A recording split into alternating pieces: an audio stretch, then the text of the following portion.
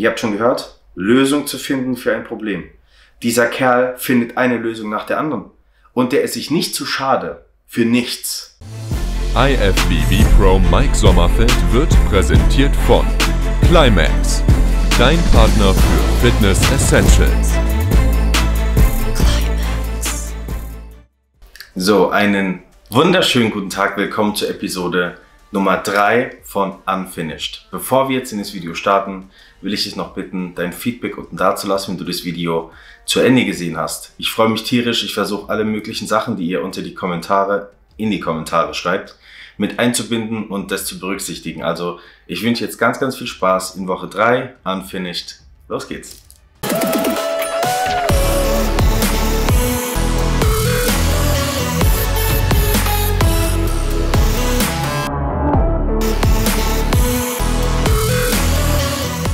So, wie ihr vielleicht wisst, hatte mein Daddy letzte Woche Geburtstag.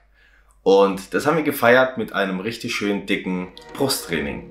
Freedom, I never had the chance to run.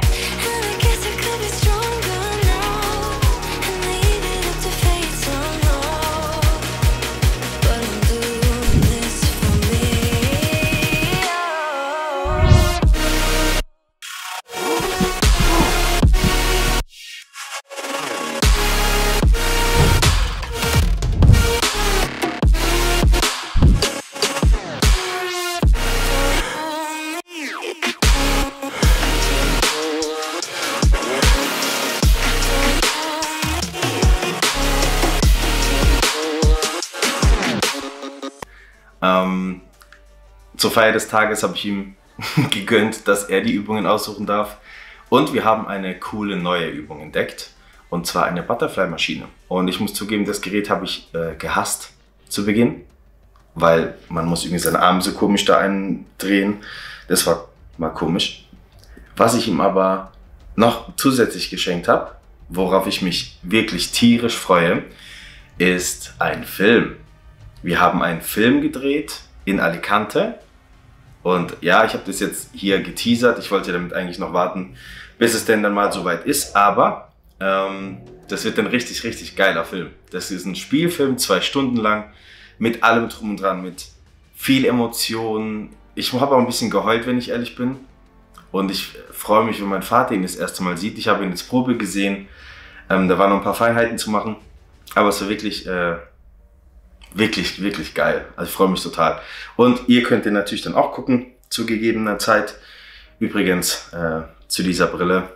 Ich habe keine Sehschwäche, aber da ist ein Blaulichtfilter drin. Es ist jetzt schon spät abends und äh, das bricht ein bisschen mein Schlaf. Ich bin nicht sehr gut im Schlafen, deswegen jetzt diese Brille in der Hoffnung, dass ich besser schlafen kann. Und ich glaube tatsächlich auch, dass ich besser einschlafe. Das aber später. Was gibt's noch Neues? Ja, was ihr leider erst in der nächsten Episode erfahren werdet, ist mein, neuer, mein neues Training und mein neuer Ernährungsplan. Neil hat geändert. Und ich würde sagen, jetzt geht's langsam auch ans Eingemachte. Ich habe jetzt äh, zum Frühstück weniger Kohlenhydrate. Aber wie gesagt, das machen wir alles mal in der nächsten Episode. Heute geht es um andere Dinge. Und zwar, wir waren unterwegs. Wir waren in Mannheim. Das ist eine halbe Stunde von Heidelberg ungefähr weg. Je nachdem, wie schnell man fährt. Und wir haben den Max besucht. Max Weintraube. Äh, dazu gibt es ein gesondertes oder gab es ein gesondertes Video letzten Donnerstag. Das könnt ihr euch angucken, da ist das Ganze ausführlich. Tief atmen, tief atmen. Drei, zwei, eins, vier Stück. Let's go. Ja. Noch. Drei, zwei, eins. Letzte. Auf. Stark. Ja, ja, ja.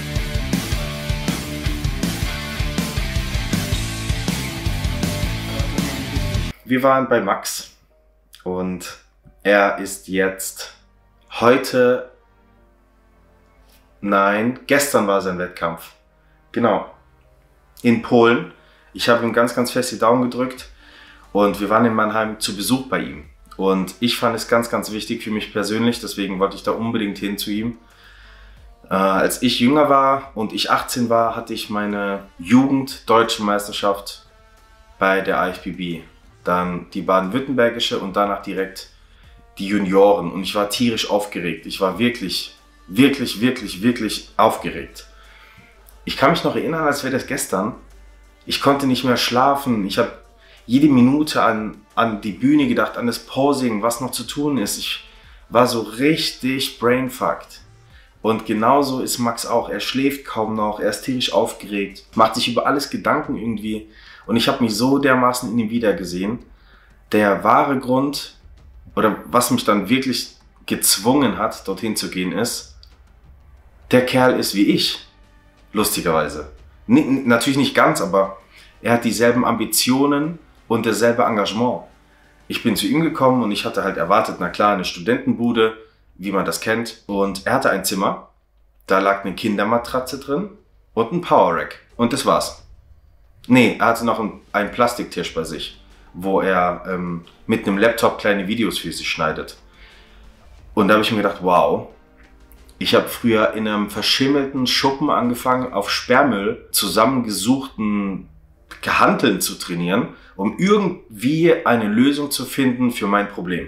Ihr habt schon gehört, Lösung zu finden für ein Problem. Dieser Kerl findet eine Lösung nach der anderen. Und der ist sich nicht zu schade für nichts. Der lebt im wahrsten Sinne des Wortes auf Minimum. Der Kerl studiert, macht ein duales Studium, will währenddessen seine Bodybuilding-Karriere voranbringen, hat nicht die nötigen finanziellen Mittel und da fand ich es, also für mich persönlich unheimlich wichtig, ihm alles zu geben, was ich kann. Also an Mindset, an Herz, an Kraft, an Aufmerksamkeit. Na klar, ich habe ihm noch zwei, drei kleine Geschenke mitgebracht, eine Dose Rain, Reiswaffeln, ein T-Shirt, aber die Sachen sind nicht als materielles Geschenk gedacht eigentlich, sondern für mich war es wichtig, zum Beispiel dieses T-Shirt. Dazu habe ich ihm ganz, ganz wichtige Worte gesagt. Und ich hoffe, dass er dieses T-Shirt einen Tag vor seinem Wettkampf getragen hat. So wie er sagte, hat er das getan. Dass er einfach weiß, dass es jemanden gibt, der hinter ihm steht. Dass er weiß, dass es jemanden gibt, der diesen Weg auch schon gegangen ist. Dass es jemanden gibt, der da auch durchgegangen ist. Und der am Ende des Tages tatsächlich dort gelandet ist, wo er sein wollte. Und zwar als IFBB Pro auf großen, großen Bühnen. Es ist jetzt ganz verrückt, weil ich rede über mich, über meinen Lebenstraum, den er lebt. Und ich wollte ihm unbedingt zeigen, dass es machbar ist, dass man nicht umsonst kämpft. Der Kerl kämpft nämlich wirklich. Es ist nicht der, wie gesagt, wir reden hier wirklich, dass er jeden Cent umdreht. Der muss sich überlegen, ob er sich eine Packung Eier kauft. Der ernährt sich aktuell von Haferflocken und Thunfisch und sowas. Und ich finde es wichtig, Mann. Es ist wichtig, dass er jetzt lernt, wie Scheiße schmeckt. Und zwar für lange. Und zwar richtig ekelhafte Scheiße. Nicht nur, oh nein, meine Mama kann mich heute nicht in die Schule fahren, wenn es regnet. Der läuft jeden Tag zu seiner Scheiß-Uni bei Regen, Wind und Wetter. Der schläft ohne Decke, weil er sich, weil er die Decke verkauft hat, dass er sich eine Büchse Eiweiß kaufen kann. Überspitzt gesagt. Das sind Leute, wenn die später mal Erfolge haben, wissen sie die zu schätzen und die werden niemals abheben, weil die Päckchen, die sie tragen, halten sie am Boden, wie Contra K sagen würde. Und wer weiß, wie Scheiße schmeckt, kann das leckere Essen danach viel mehr genießen. Ich mache euch ein kleines Beispiel. Ich bin jetzt mittlerweile an dem Punkt, wo ich dort bin, wo ich sein wollte, auf professionellen Bühnen. Ich äh, arbeite mit tollen Partnern zusammen und ja, damit verdiene ich Geld. Ich habe es geschafft, Gott sei Dank, mit Bodybuilding Geld zu verdienen. Und dennoch, egal ob ich Millionär, Milliardär oder arm sein werde, es ist wirklich egal. Es wird immer so bleiben, dass ich Minimalist bin. Ich kaufe mir keine teuren Sachen. Außer Essen, zugegeben. Als Beispiel, das hier ist ein Euro von Wish, der Ring. Das ist ein Geburtstagsgeschenk gewesen. Das ist auch ein Geschenk von der FIBO gewesen. Das T-Shirt war von Wish für 3 Euro. Die Kette war ein Geschenk. Die Brille hat mich, glaube ich, 8 Euro irgendwas gekostet. Die Hose, die ich trage, ist geschenkt. Die Sandaletten sind aus Ägypten für 3, 4 Euro. Ich sehe darin keinen Sinn, Geld auszugeben für diese komischen Dinge. Und ich finde es cool, dass Max sowas auch lernt. Und zwar nicht zu konsumieren, sondern zu investieren. Ich glaube, das ist auf den Punkt ausgedrückt. Max lernt aktuell sehr, sehr, sehr viel, wie man Lösungen findet. Und das wird seinen Charakter richtig stark machen. Jetzt aber genug von Max. Max an der Stelle, ich hoffe, heute ist ein Tag nach dem Wettkampf, dass du alles gerockt hast und dass du mein Rat beherzigt hast und äh, jede Sekunde, die du da hattest, genossen hast. Jetzt aber zurück. Ähm, wir werden jetzt ein bisschen übers, übers Essen sprechen. Mein Essen hat sich in den letzten Wochen 0,000 geändert. Ich habe nach wie vor, und es war mir ganz, ganz wichtig, so lange versucht wie möglich, Cheat Meals mit in meinen Sonntag zu planen. Und den Sonntag habe ich Oma gewidmet. Ihr wisst, dass vor zwei Jahren äh, mein Opa gestorben ist. Und zwar, das war vor fast genau zwei Jahren. Und seit diesem Tag habe ich mir geschworen, so viel Zeit wie möglich mit meinen Großeltern, in dem Fall meiner Oma, zu verbringen. Ähm, ganz einfach, um ihr alles möglich zu geben, was ich geben kann. Tolle Mittagessen, eine Runde spazieren, ähm, dass ich mir Zeit nehme. Wisst ihr einfach dieses Ungezwungene. Wenn sie mir einen Kaffee anbietet und da ist Milch drin und Zucker, dann lehne ich den nicht ab, dann trinke ich den. Und es fühlt sich wirklich gut an. Ähm, ich denke, ja, Familie ist für mich einfach enorm wichtig. Zumindest die Person, die ich zu meiner Familie zähle. Und für die gebe ich auch alles. Und ich finde, es ist das Mindeste, einen Tag die Woche, vielleicht ein Mittagessen mit Oma zu verbringen. Und ja, da gibt's keine Pizza. Da gibt's Salat, da gibt's gute Kartoffel, ein gutes Stück Fleisch. Und dann ist gut. Klar, ich habe Sodbrennen und es ist nicht ganz mein Planessen, aber mir tut es so gut. Wenn es nicht für meine Muskeln ist, dann ist es für mein Herz. So kann man das ganz gut beschreiben, glaube ich. Und äh, wie gesagt, die letzten Wochen hat sich mein Essen null geändert. Ich habe meinen Essensplan selbst gemacht. Das heißt, ich habe weiter mit meiner Freundin morgens Toast gegessen. Den habe ich irgendwann gekickt und habe es durch Reiswaffeln getauscht. Weiterhin ist Avocado drin geblieben. Ich hatte meine zwei ganzen Eier. Mittlerweile sind es nur noch, äh, nee, drei ganze Eier. Jetzt sind es nur noch zwei ganze Eier mit 300 Milliliter Eiklar und Gemüsemix.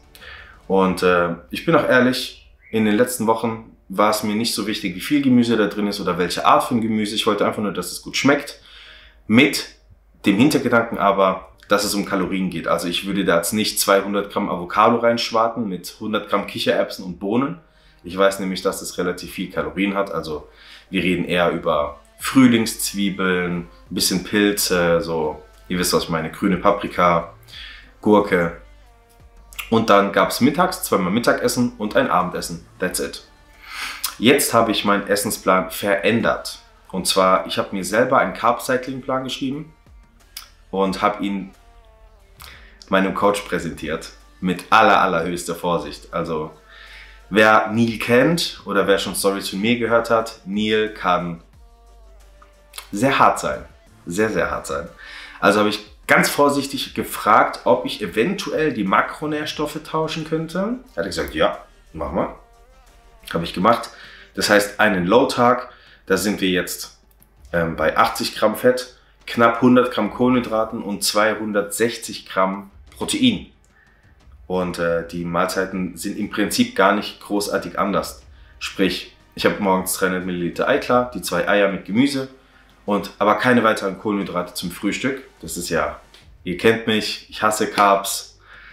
Deswegen zum Frühstück gibt's keine, aber dafür gibt's danach Kohlenhydrate. Also wenn ich dann nach dem Training nach Hause komme, gibt's die erste Mahlzeit, das sind 200 Gramm Chicken mit 30 Gramm un, äh, ungekochten Reis. Ja, 30 Gramm. So.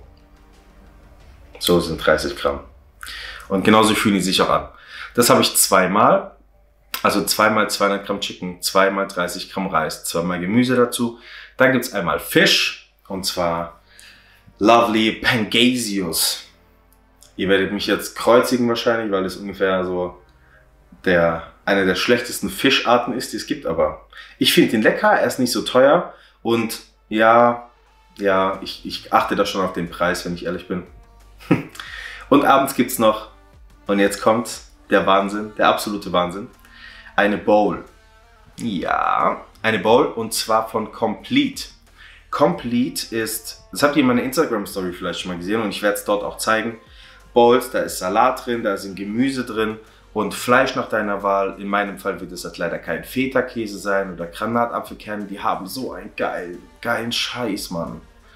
Boah. und ich habe so Hunger. Naja, auf jeden Fall darf ich mir vermutlich zweimal die Woche zu meinem High Day eine Bowl mitbestellen. Ja, vielleicht, also abends habe ich jetzt aktuell 200 Gramm Rindfleisch mit 50 Gramm Salat, äh, 100 Gramm Bohnen und 30 Gramm Avocado. Das kann man theoretisch tauschen durch diese Bowl. Das Coolste ist, bei Complete kann, man, kann ich meine eigene Bowl ähm, zubereiten lassen. Ich sage zu denen einfach, hey, ich will 100 Gramm davon, 50 Gramm davon, 30 Gramm davon, das bitte 10 Mal, nehme es mit, pack es in meinen Freezer und fertig. Ich muss es nur einmal einen Tag draußen stehen lassen, nicht mal in die Mikro, dann taut es schön auf, dann ist es schön frisch und ich kann das immer essen, immer abends, bevor ich ins Bett gehe, wie sexy.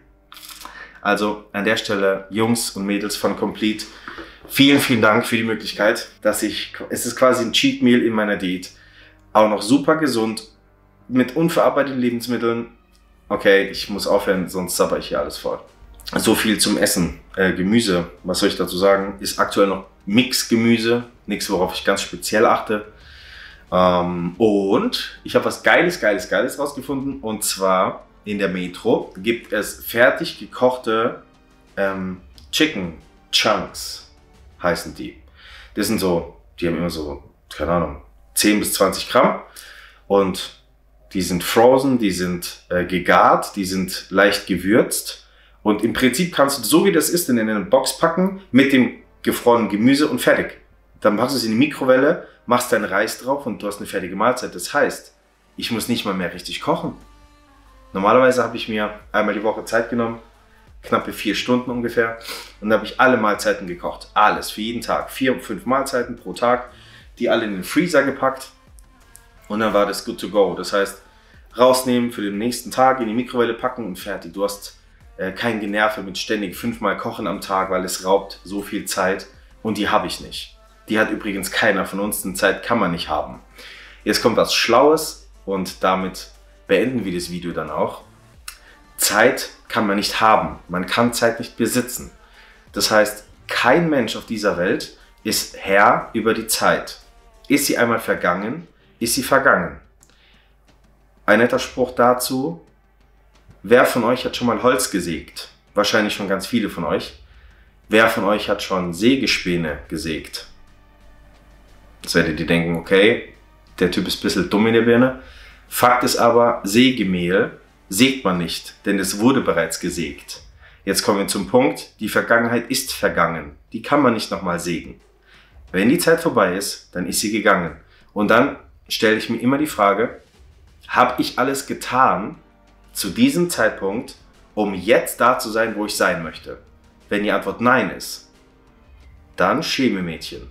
Das kannst du nicht rückgängig machen. Und wenn du das ganz oft in deinem Leben verkackst, ist die Summe deiner Fehler dein Leben oder das, was du dann dein Leben nennst. Und davor möchte ich jeden bewahren. Wenn du das hörst, mach dir bitte ein ganz, ganz großes Ausrufezeichen hinter dein Ohr, dass du die Zeit im Auge behältst. Sie wird gehen und man kann sie nicht aufhalten, für niemanden.